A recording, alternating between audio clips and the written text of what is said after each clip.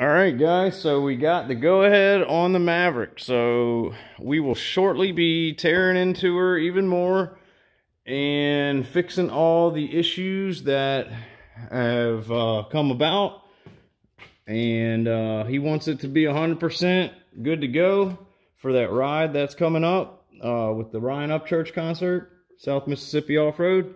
So we're all going to be there. So this will be there. I'm hoping the brute force will be be done and be there as well. And uh, yeah, man, we're gonna have a great time. If any of y'all want to show up or come out, uh, get your tickets. I think soon because uh, they'll be sold out. I'm sure. But uh, this will be my biggest issue down here is gonna be getting to this uh, this water pump seal. So I might have to end up removing the tank and uh, coming in from down like right in this area down here at it hopefully it's not too much of a pain. I have a video that's uh, on my channel that's tips and tricks for the water pump. So as long as I do my little tips and tricks, uh, should be good to go. You know, it should come out pretty easily. So yeah, this thing's going to look awesome when it's done, guys. I can't wait uh, to see what she'll do. I haven't driven it yet, but uh, it looks pretty amazing. I've ridden in one or two. I've ridden in a couple of these. This is my second Maverick I've done. Uh, I did a full build on a 2014, I believe, four-seater Maverick. It was pretty awesome. It was a 1000R also.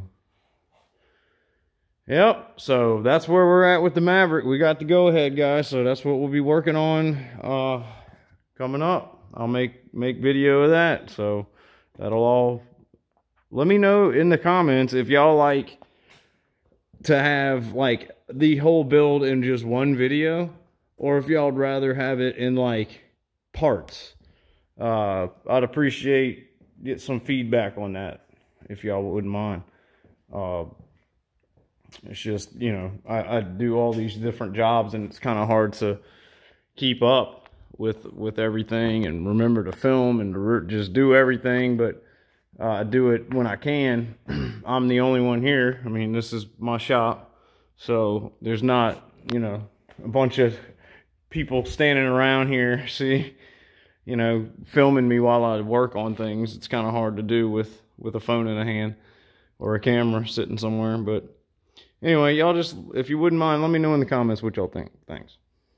And look, if y'all would hit that like, subscribe, and hit that bell for notifications if you haven't already uh, so you'll be notified when I post new vids.